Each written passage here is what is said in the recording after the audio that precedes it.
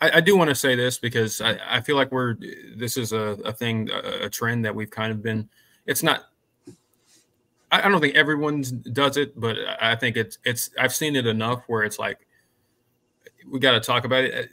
We, we can't keep comparing Cade to, to Trevor and, and Deshaun Watson, not not from a, uh, a or, and not even saying like um, from a, a, talent standpoint, but just from a, a situation standpoint, like we, yeah. we can't the reality is is Deshaun Watsons and Trevor Lawrence's are not the norm, even from even from five star quarterbacks. Like for as far as five star quarterbacks are concerned, I don't even right. think Deshaun. I don't even think Deshaun was. He was a five star on some sites. I, I, don't even know if he was a consensus five star. But I don't think so. Yeah. Um, but still top one. You know, top fifty type, top one hundred type player. Um, like I, I don't think we can like some some freshman quarterbacks come in and you know they just light the world on fire and they're ready to go. But even the five stars, that is not the norm. Like I think we we we hear more about the ones that are successful. Um, but the reality is is especially when you look at the the, the other guys in, in Cade's uh, quarterback class, he's actually ahead of a lot of them. Um, yeah.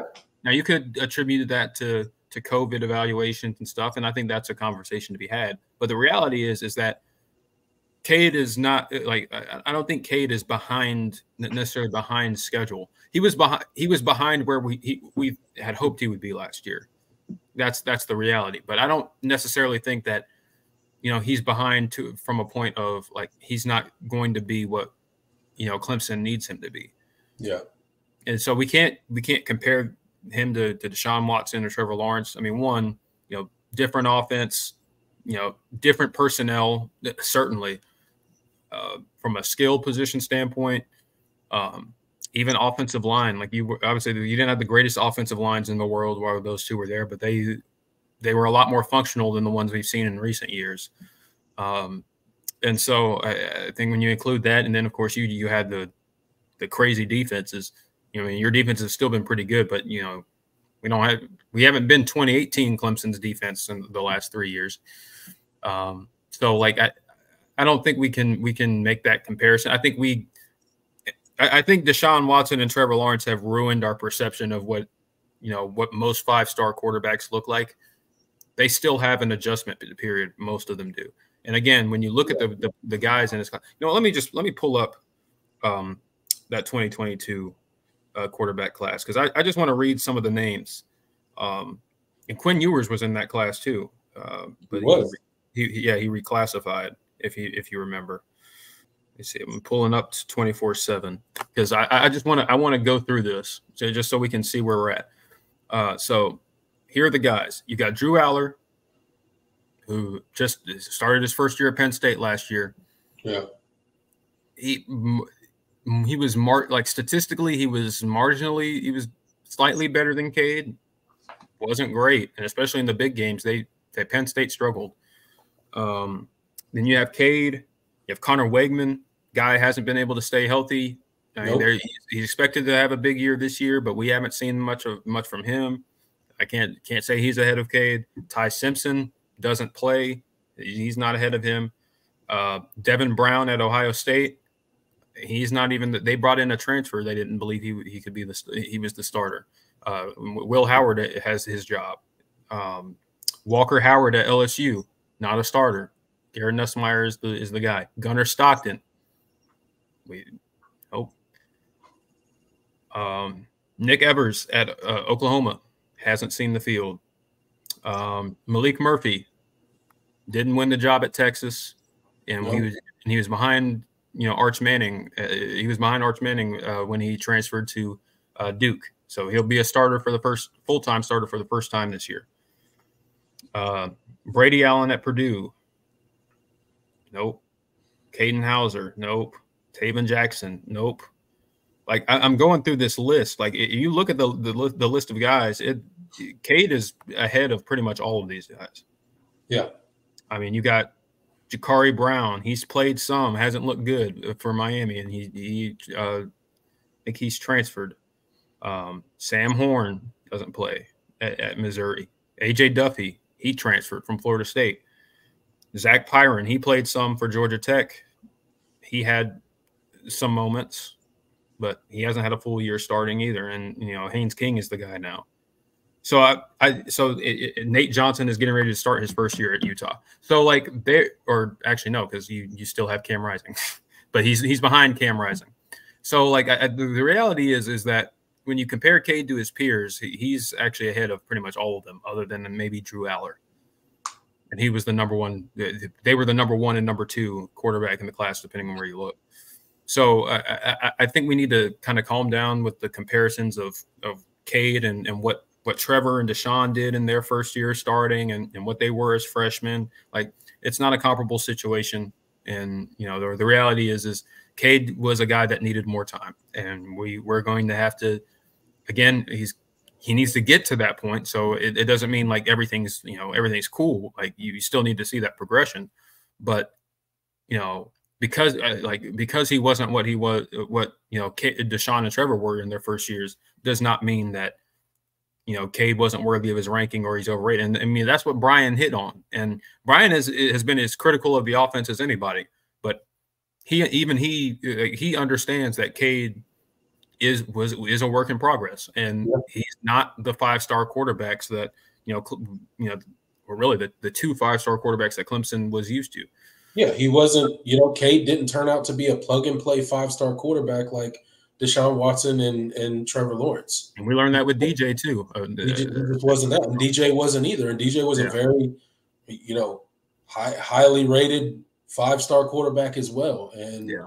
they just didn't work out. Um, you're you're never going to just rattle off Trevor Lawrence and Deshaun Watson over and over again.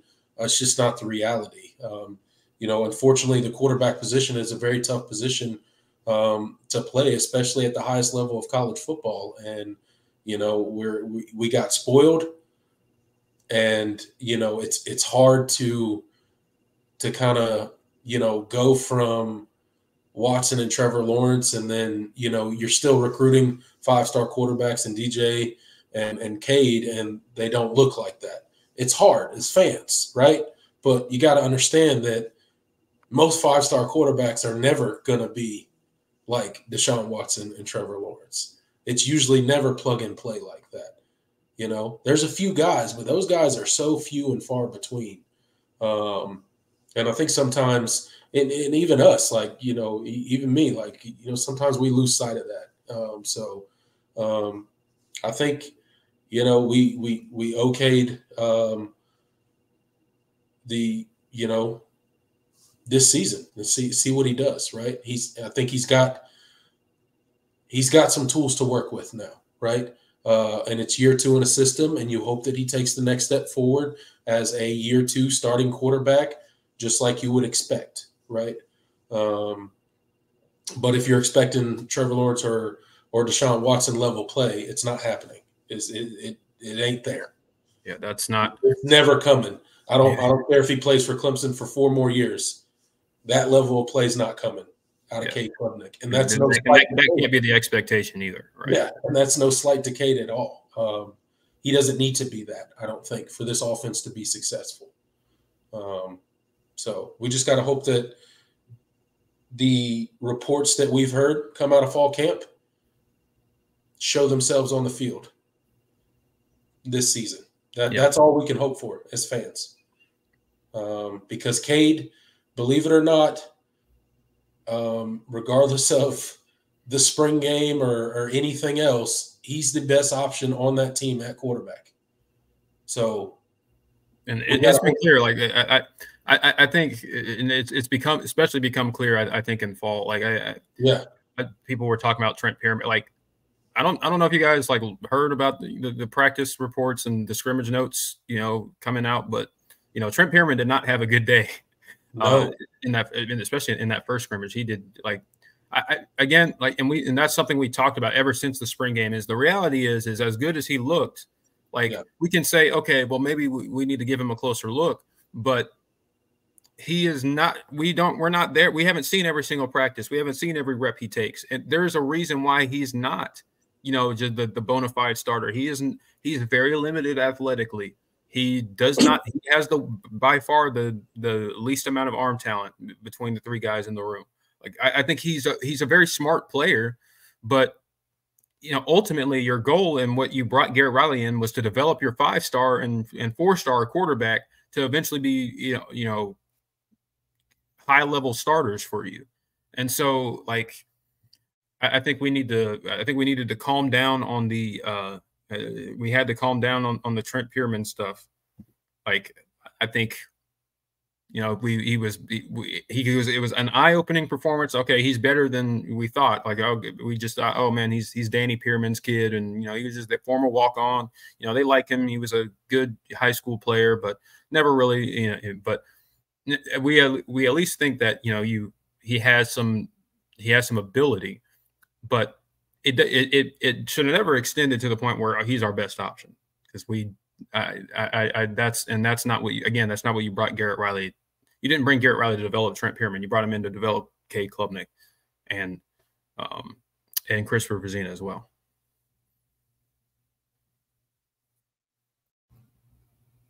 I'm sorry, I was muted. Young Pablo gets in here and says, "Exactly. See, how do you guys know Cade has improved?" To your we, point, Young Pablo, we don't. We don't. We have no idea if Cade has improved it or not. All we know are reports from the limited practice that the media members get to see and what they have said, and then what the coaches and the players tell us through interviews. That's all we know for sure, which is why me and Jordan have always taken the approach this entire offseason saying that we are cop- cautiously optimistic that the offense will improve this season. And we've laid out the reasons that we think it could improve. Now, it could come week one, week two, week three. We could be, you know, three, four weeks into the season, and K. Klubnik looks like the same old Cade Klubnik that he's always been, right? That is a that is a possibility, right? There's also a possibility that he takes a step forward in year two of Garrett Riley's system and starts looking a bit more polished as a quarterback, right? We don't know for sure. All we know is there are some encouraging reports coming out of fall camp. And the one thing we do know is Cade's the best option at quarterback. So we as fans better hope he takes the next step forward and improves because he's the best option. So if he doesn't take the next step, it's not looking good. Um, so I don't think we're we're saying that definitively Cade has improved. We're hearing some encouraging things and hoping that it proves itself on the field this season.